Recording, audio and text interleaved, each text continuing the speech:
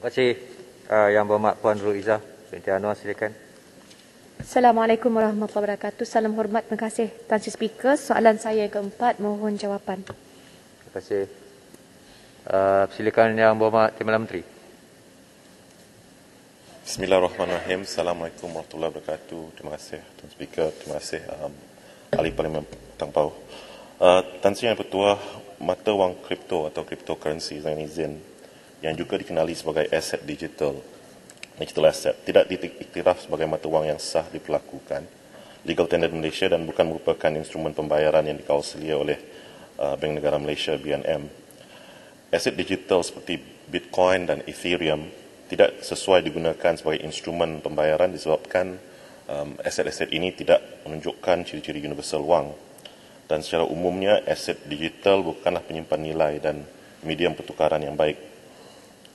Dan ini sedap disebabkan keadaan aset digital yang terdedah kepada um, turun naik harga yang tidak menentu akibat uh, pelaburan spekulatif. Sebagai contoh, uh, pada bulan April um, 2021 harga Bitcoin uh, mencecah nilai puncaknya sebanyak USD 65,000 US dan minggu berikutnya ia susut 50%. Uh, dan satu lagi adalah risiko kecurian.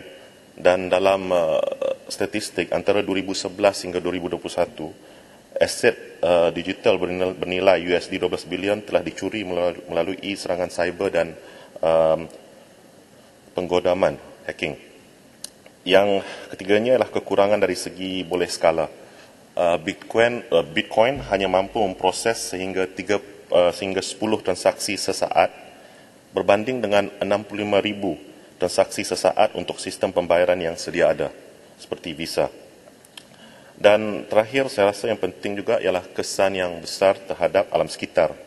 Kerana tenaga elektrik yang digunakan untuk memproses satu Bitcoin um, boleh memproses 1.2 juta transaksi Visa. Dan pada tahun 2020, uh, rangkaian Bitcoin telah menggunakan 132 terawatt sejam uh, ini bersamaan dengan penggunaan tenaga elektrik bagi seluruh negara Argentina. Walau bagaimanapun, kita faham yang landscape pembayaran dan aset digital yang cepat berubah telah mendorong um, bank-bank pusat untuk menilai kewajaran mengeluarkan uh, mata wang digital bank pusat uh, atau Central Bank Digital Currency, CBDC. Dan CBDC ini adalah merupakan instrumen pembayaran digital yang dikeluarkan uh, oleh bank pusat dan sedang ditroka Uh, dan dikaji oleh pelbagai bank pusat di dunia. Uh, namun begitu pada masa ini BNM belum lagi memutuskan uh, untuk mengeluarkan CBDC dalam masa terdekat kerana di Malaysia sistem pembayaran domestik termasuk platform pembayaran runcit masa nyata Real Time Retail Payments Platform RPP um, terus beroperasi dengan selamat dan cekap untuk menyokong keperluan ekonomi dan membolehkan pembayaran digital masa nyata. Jadi di samping itu uh, alat dasar monetary dan kewangan sedia ada juga kekal berkesan uh, dalam memelihara kestabilan monetary dan kewangan negara. Terima kasih. Terima kasih. Silakan. Terima kasih Speaker. Terima kasih Yang Mohormat Kepala Menteri di atas jawapan. Uh, persoalan saya memandangkan ya, mata wang kripto tidak diiktiraf sebagai mata wang yang sah diperlakukan. You mentioned legal tender. Mengapakah Suruhanjaya Security Malaysia SC membenarkan dagangan aset digital melalui bursa-bursa aset digital atau DAX. Yang kedua adalah bila bercakap tentang pembayaran uh, digital, uh, saya fikir kita juga bergerak ke arah masyarakat tanpa tunai. Apakah langkah-langkah yang diperkenalkan oleh Kementerian Kewangan supaya golongan rentan ya tidak um, kira marginalized, tidak terpinggir dalam peralihan ini. Terima kasih Speaker dan Timbalan Menteri. Terima kasih. Silakan Yang Mohormat Timbalan Menteri. Um, terima kasih atas susulan atas apa um, soalan susulan. Um, mata wang kripto atau aset digital tidak dikira sebagai mata wang yang sah diperlakukan um, kerana ianya tidak sesuai digunakan sebagai kaedah pembayaran. Namun demikian, aset digital mempunyai pelbagai kes penggunaan uh, termasuklah sebagai kelas aset yang boleh dilaburkan. Uh, dalam hal ini, pihak SC sebagai pengawal selia pasaran modal di, di Malaysia telah menetapkan yang uh, aset digital sebagai security di bawah undang-undang uh, dan bertanggungjawab dalam pengawasan aktiviti dagangan aset digital serta perolehan dana sebagai um, uh, melalui tawaran awal bursa IEO.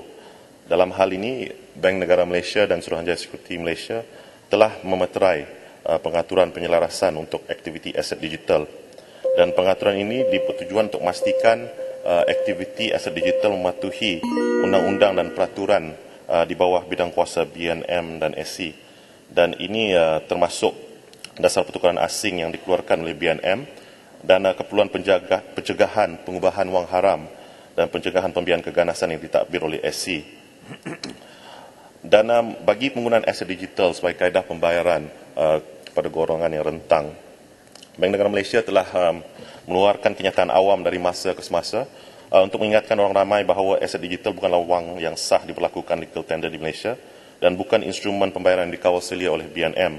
Uh, justru orang ramai selalu di, kita nasihati agar berhati-hati dalam menilai risiko uh, yang berkaitan ketika berurusan dalam aset digital.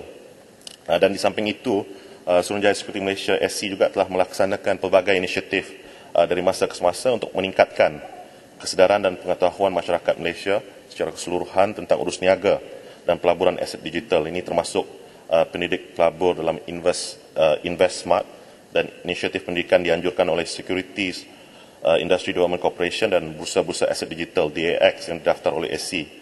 Jadi uh, orang ramai adalah dinasihatkan untuk merujuk kepada senarai bursa aset digital uh, DAX yang dikeluarkan oleh, oleh SC dan hanya berurusan dengan um, DAX yang dia daftar oleh SC. Terima kasih. Ada soalan tambahan kedua?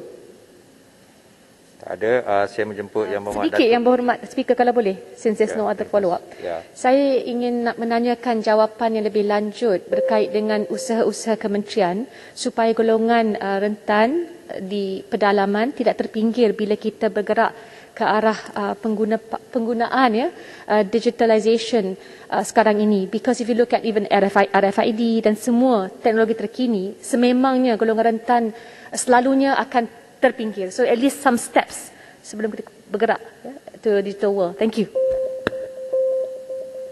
Um, terima kasih Ahli Pematang Pauh. Kita ambil apa? Ambil kira, kementerian akan ambil kira.